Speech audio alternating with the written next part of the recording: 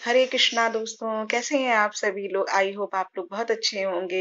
आजकल मौसम चेंज हो रहा है सर्दी खांसी जुकाम सभी को लगा है बच्चे बड़े बूढ़ों सबको लगा हुआ है।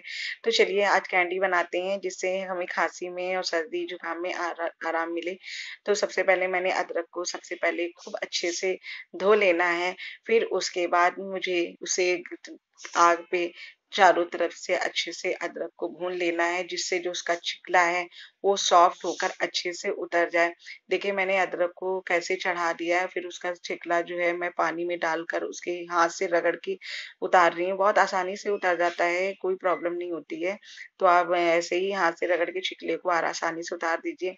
और फिर ये देखिए, जो नहीं है, मैं सारे छिकले निकल गए हैं और अच्छे से मेरी अदरक साफ़ हो गई है। अब मैं इसके छोटे छोटे टुकड़े करूँगी। तो ये मैंने छोटे छोटे टुकड़े कर लिए हैं और अब इसको मैं ग्राइंडर में डालकर पीस लूँगी, महीन महीन पीसूँगी। फिर उसके बाद मैंने कढ़ाई चढ़ा दी है। उसमें दो टेबल स्पून मैंने देशी घी डाला हुआ है। अब इसी में मैं अपना अदरक का पेस्ट जो मैंने पीसा था, उसे मैं डालकर थोड़ी देर भून लूँगी। फिर मैं गुड़ लूँगी, उसे कद्दूकस कर लूँगी जिससे कि वो अच्छे से मेंट हो जाए। तो मैंने ये देखिए कद्दूकस कर लिया है और एकदम मेरी अदरक भी भून रही है। और मैंने जो गुड़ को कद्दूकस किया था, उसे मैंने अदरक में मिक्स कर दिया है। बहुत टेस्टी बनता है। और गाइस अगर आपको मेरा पसंद आ रहा है तो प्लीज़ सब्सक्राइब करिए लाइक करिए और कोई कुछ भी हो तो कमेंट्स करके भी आप पूछ सकते हैं, कोई भी क्वेश्चन मैं इसका जवाब देने का प्रयास करूँगी।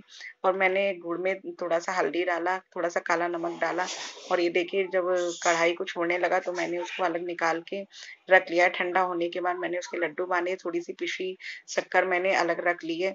अब मैं इसके लड्डू बांधूँगी, जो मेरा गुड़ ठंडा हो गया है तो मैंने हल्का सा हाथ में घी लगाया है। गुड़ लड्डू बांधने के बाद मैंने शक्कर, पिसी हुई शक्कर में उसको लपेट लिया है। बहुत टेस्टी बनते हैं, सबको पसंद आते हैं, बच्चे, बड़े सभी सभी लोग खाते हैं और इससे बहुत जल्दी खांसी ऐसी सही हो जाती है। आप लोग भी बना के देखिए हंड्रेड परसेंट चाहे जितनी भी पुरानी से पुरानी खांसी हो, वो सही हो जाती है। खाने में बहुत टेस्टी लगते हैं और बहुत ही स्वादिष्ट बनते हैं। तो बनाइए, कभी नहीं खराब होते। हैं